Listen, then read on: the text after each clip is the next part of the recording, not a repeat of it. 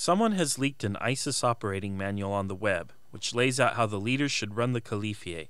An unknown source leaked the document to the media. It details training children should receive, how to manage resources, and more. The document proves the Islamic State is not run by mere terrorist thugs. Abu Abdallah, an unknown personality, wrote the guide titled Principles in the Administration of the Islamic State. The guide, which is about 24 pages, has been translated into English. It shows a chilling marriage between fundamentalist Islamic ideology and modern psychology. The document explains how Muslims will establish the Islamic State as a synthesis of religion, military training, and social control, with all people contributing their talents to the state. The state will control all resources. The document is another piece of evidence that the Islamic State plans world domination. The Islamic State may be the greatest threat the world has faced since the end of World War II. Thank you for watching our exclusive California Network Daily Briefing. Please subscribe to our channel and tell us how much you like our news in the comments below.